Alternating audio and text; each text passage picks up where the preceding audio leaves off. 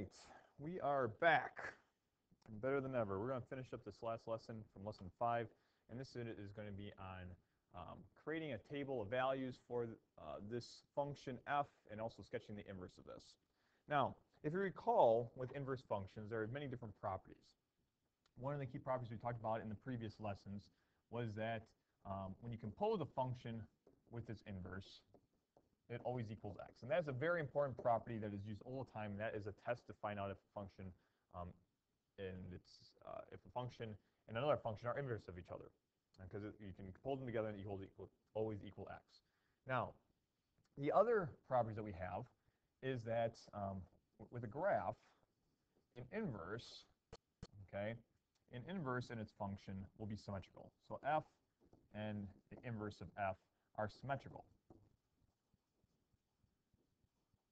Right, over the y equals x line. So if I were to draw a y equals x line here, and we'll do this right here, and I kind of start right there, I draw this line, okay, I know that this new graph would have to be symmetrical over this line, okay? This graph of um, the inverse of f, and I'm going to make a different color, I'm going to make this red. There we go. So this inverse graph, I'm going to make red. Okay, but it has to be symmetrical over this y equals x line. All right, over this y equals x line. All right, now, to do that, because it has that symmetry, we also know that there's some other properties, is that on a table of values, in which we're asked to do, because we're asked to find a table and then also sketch the graph, all right, is that the table of values is that if I have a value of a equals b, that the inverse, if I plug in the output of the function, of the original function, it gives me out the input of the original function. So everything is switched. So with this, I can find actually out this value of this function by actually setting up a table of values. All right? And what we have here is I'm going to first identify the values that we have for this original function. So here I'm going to start at negative 2. And with negative 2, I get 1, 2, 3, 4. 4. This next point is going to be negative 1, 0.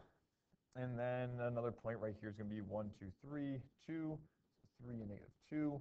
And then 1, 2, 3, 4, and negative 3. So 4 and negative 3.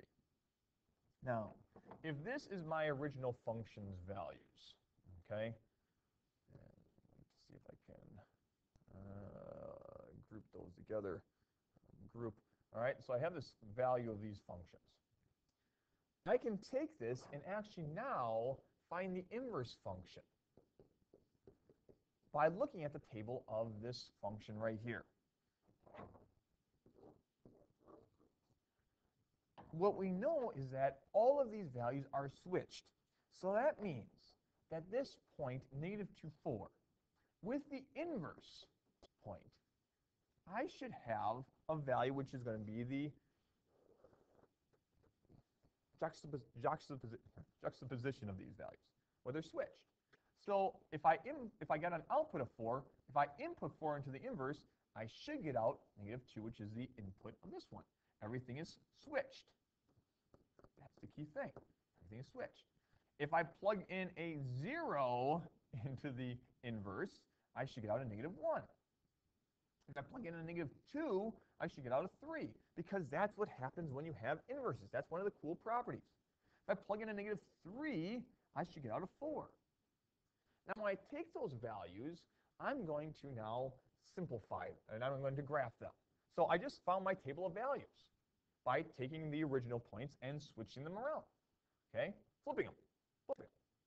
So from here, I'm going to now graph this new value. So I have 1, 2, 3, 4, and negative 2. And now, when I graph this, see if there is actually a symmetrical relationship between the y equals x-axis. And I got 0, negative 1. So 0, negative 1, which is also right there. I have 3, 1, 2, 3, and negative 2, which is going to be, uh, what am I doing here? Oh, I'm sorry, look at the wrong one. Sorry about that. Take this 4, negative 2, check. All right, 0, negative 1, check. Okay, now we're going somewhere. Negative 2, 1, 2, and 3, 1, 2, 3, which would be right there. Check. All right. And then negative 3, 1, 2, 3, and 4, 1, 2, 3, 4 is right there. Okay, and check. Now, from here, I'm going to connect the dots and create a graph. Should be symmetrical that line. And if you notice, it is symmetrical over that line. These values are switched because now they're going over there. These values right here are switched, and now it has symmetry. This one is over here, and they have symmetrical relationship over that y equals x line. And that is how we can graph an inverse function. The key thing is identifying the points and creating a table. All the points are switched, which are very are flipped, that's going to be very important, and that there is symmetry over this y equals x line. And you can see that. Okay.